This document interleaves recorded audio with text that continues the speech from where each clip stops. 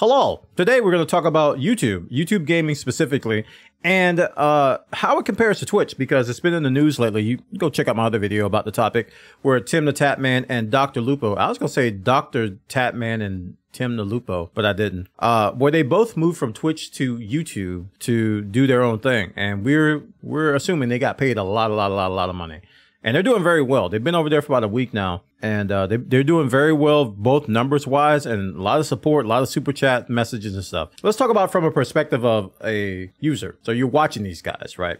The number one complaint I hear is that, man, I wish YouTube would fix their theater mode, man. I want it to look like Twitch. It looks all bad. I don't like change. Ew. Oh no. So I want to show you a little thing here. This thing is called this YouTube live theater mode. YouTube live streams theater mode that you can get from this site, not Napali Ghost, and is available for Chrome and for Firefox, and it looks actually really good. It looks actually really really good. Uh, I tried it today with Twitch's uh, with uh, Tim the Tatman stream, and I was actually shocked. Like it, it, it looked one to one to Twitch.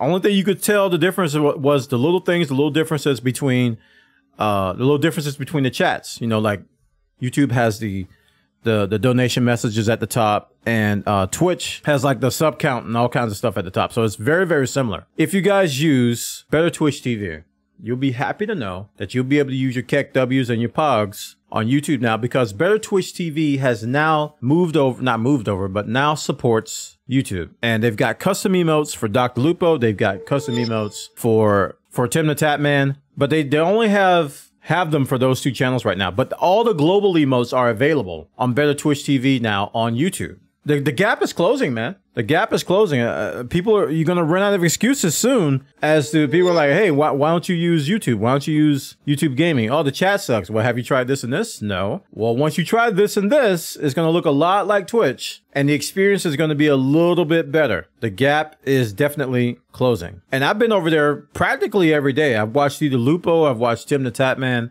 and uh, I can I like Tim the Tatman's like intro, his monologue stuff in the beginning more than I like his Warzone gameplay. I can only watch Warzone for so long, but it was nice seeing him play with Doctor Disrespect, Lupo, Courage, and that those guys again. That was fun to watch for a little bit. Can't watch for a long time. Lupo, I just like watching him play Tarkov because his looting skills, uh, all this stuff. I mean, you go to the game, but this guy can go to a body and just Tetris the crap out of the loot somehow, and somehow fit six version, six loads of, of gear into his little backpack. I'm like, how are you doing this? It, it, seems like magic. It actually seems like magic that he's able to get that much gear. So I watch him for that mainly. To watch him loot and try to learn from it. But YouTube gaming, making moves, paying people big monies. We haven't heard any more announcements. I was kind of expecting some other people to sign, but we haven't heard anything yet. So maybe Twitch is uh Twitch is negotiating a little bit more than they did with Tim and Lupo. But as a user, if you want to go watch YouTube gaming, I highly recommend these two extensions. Uh, they work on Chrome and Firefox, and Twitch TV works on a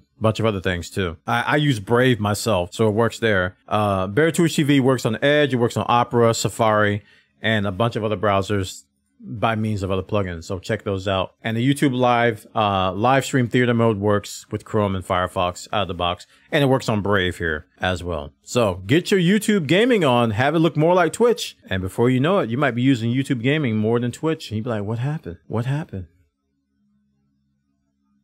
Competition. Y'all take care of yourselves. I'll see you later. Bye.